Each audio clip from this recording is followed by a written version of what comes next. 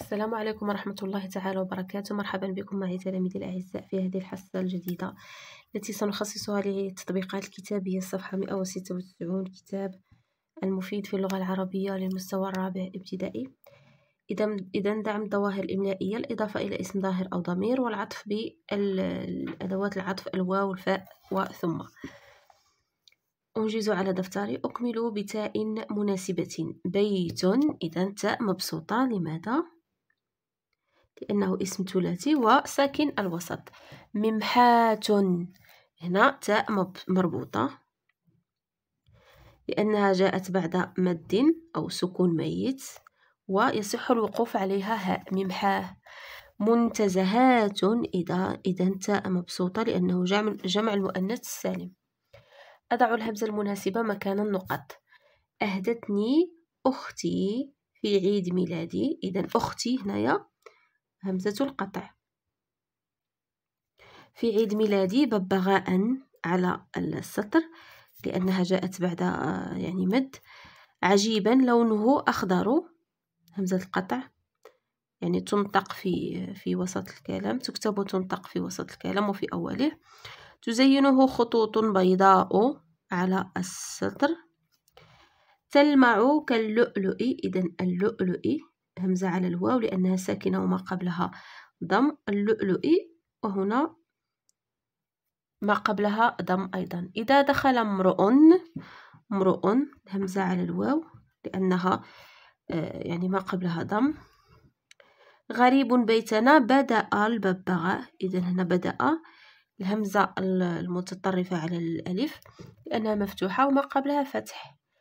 الببغاء على السطر لأن ما قبلها يعني مد بالألف يردد عبارات الترحيب أهلا وسهلا. وإذا إذا هنا همزة قطع. وإذا تجرأ إذا مفتوحة وما قبلها فتح تكتب على على الألف. وإذا تجرأ ولد وهزئ به فاجأه. إذا همزة هنا على الألف. لأنها مفتوحة وما قبلها فتح. فاجأه الببغاء على السطر بتكرار عبارات الاستهزاء. إذا على السطر لأنها لأن ما قبلها مد. إذا أصل بخط عبارات الاستهزاء الببغاء أختي معرفة بال أو معرف بالإضافة. إذا عبارات الاستهزاء. إذا هنا عبارات فهو اسم نكرة لكنه عرف بالإضافة. أضفنا له هذا الاسم هذا. إذا عبارات الاستهزاء عرفنا النوع العبارات. عبارات فهو نكرة. يعني وكما كانش الاستهزاء ما نعرفوا واش عبارة تقدير عبارة الشكر عبارة الترحيب عبارة تقدير. إذا الاستهزاء هذه الإضافة هذه هي اللي عرفتنا العبارات.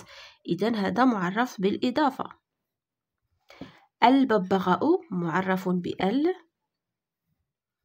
وأختي معرفة بالإضافة فين هي الإضافة؟ هو هذا الضمير هذا ديال المتكلم. أختي إذا الأخت ديالي أنا. عرفنا يعني عرفناها. أختي معرف بالإضافة. ونوع الإضافة فهو ضمير. أصل بخط لأعرف الكلمات بالإضافة. عاصمة المغرب. إذا عاصمة المغرب.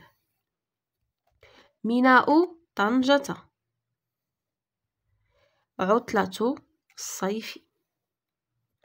إذا هاد الكلمات هذه عرفت لنا الكلمات الأولى. أعرف الكلمات تارة بأل وتارة بالإضافة إلى اسم ظاهر وتارة بالإضافة وتارة بالإضافة إلى ضمير متصل. مثلا هنا بيت فهو اسم نكرة ما عندوش التعريف غير معرف. بيت هنا عرفناه بأل زدنا له ال أصبح معرفا بأل البيت. هنا ضفنا له اسم ظاهر معرف بالإضافة.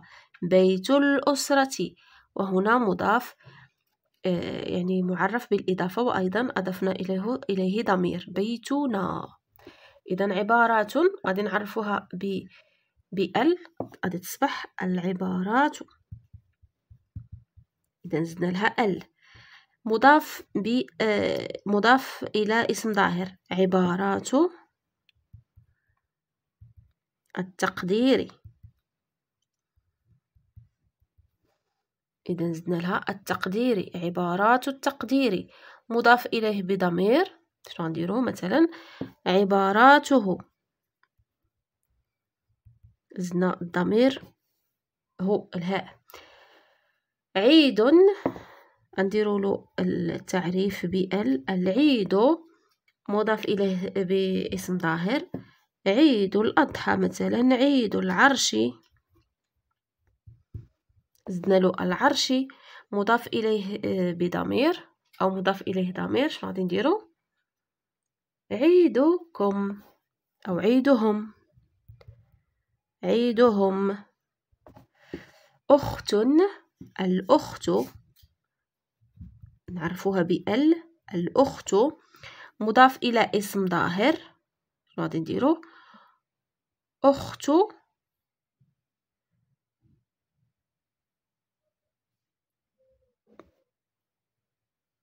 أخت المدير ومضاف إليه ضمير غادي نديرو. أختها. أختها. أركب جملا تتضمن حروف العطف الآتية الواو الفاء و ثم. أركب جملا تتضمن حروف العطف الآتية إذا الواو. غادي نكتب مثلا جملة. اشتريت. اشتريت كتبا وألعابا. اشتريت كتبا وألعابا. الفاء إذا حرف العطف اللي عندنا هو الواو. الفاء شنو غادي نديرو مثلا؟ دخل دخل المدير فالأستاذة.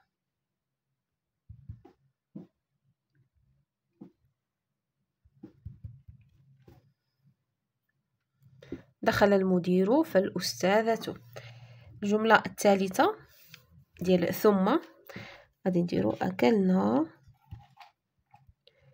الكسكس ثم الفواكه.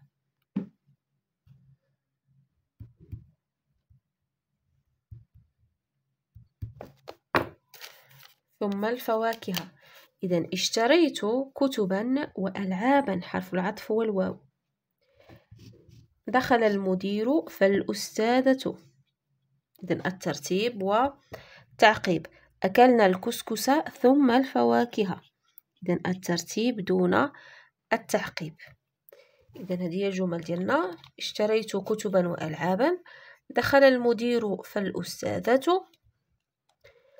أكلنا الكسكس ثم الفواكه. دخل المدير. إذا قلنا المعطوف. يتبع المعطوف عليه في حركة إعرابه. كتبا ألعابا المدير الأستاذة الكسكس الفواكه. وبهذا نكون قد أنهينا حصتنا لهذا اليوم. شكرا لكم وإلى اللقاء.